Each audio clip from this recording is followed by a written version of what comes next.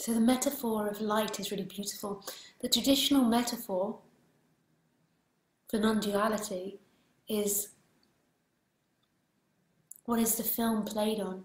The film has to be played on something in order for it to to be experienced. There has to be something still on which the film's been played on. But I really like the metaphor of the light. So the way that old-fashioned films worked. I think it's most probably a computer now that you have in the cinemas. So I think now that films are done by computers, but if you think of old-fashioned lights, like, uh, ay, ay, ay, ay, old-fashioned um,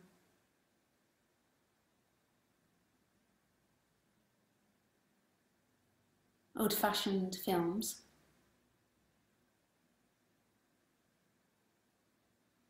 So if you think about these old-fashioned films, the way that it worked was the still images.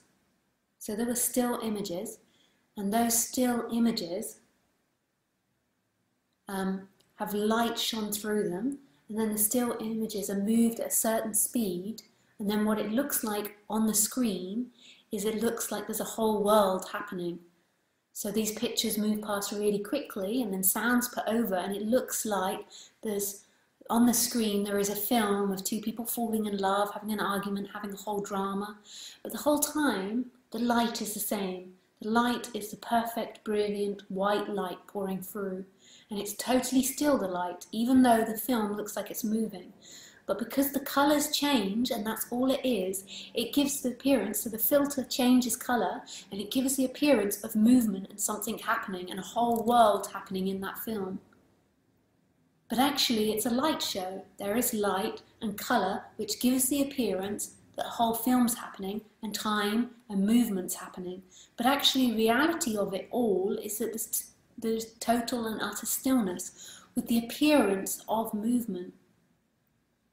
And who you are, who you truly are, is that light, which is the knowing, the awakeness of itself. And it is all things, it's playing every role. And there can be this energetic shift that happens in the body from being a bounded person, believing that your edge is inside here, to boundlessness.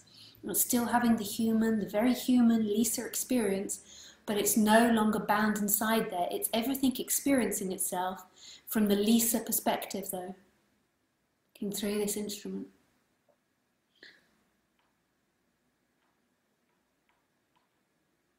And that's the end of suffering.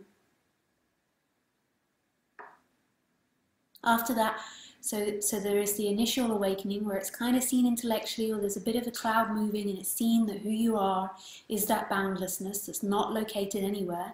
And then for a period, it, it contracts and expands, it contracts and expands. Then there's a movement from being that separate entity to that expandedness.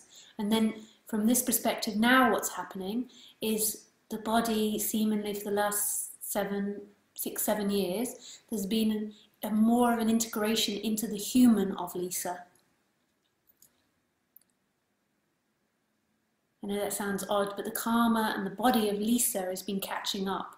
So before there were old tendencies and loads of them fell away when there was that shift, but these tendencies are relaxing. So, so neurotic patterns that were based on being separate um, and separation are now relaxing in the body. Still sometimes Lisa can be a neurotic asshole, but most of the time she's an enlightened saint.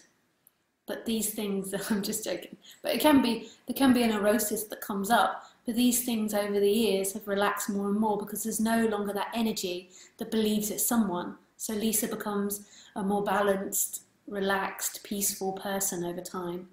But that is no longer suffering anymore, even though there's still energies working themselves out to become more balanced, it's no longer making a separate entity. So therefore all the emotions and these ideas and old patterns of being go straight through the body and aren't clinging on to make an entity anymore.